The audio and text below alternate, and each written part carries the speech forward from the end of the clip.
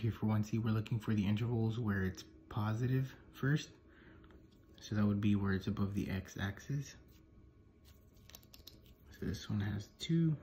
From here to here, it's above the x-axis. So from 0 to square root of 3. Okay, notice it's above the x-axis at 0. So we include it. But it's not above the x-axis here. Okay, because it's at 0. So it's not positive or negative. Okay, then there's another one from here and then on to infinity. So from square root of 5, oops, to infinity. And again, since this is 0, okay, the y value here is 0, then we don't include square root of 5.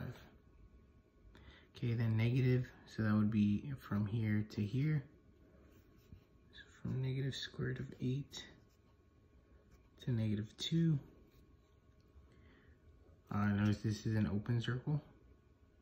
So that's why I put parentheses there. But this one is closed.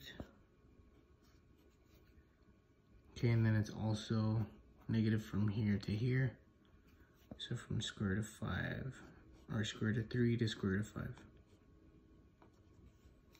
Okay, and we don't include either of them because 0 is not positive or negative.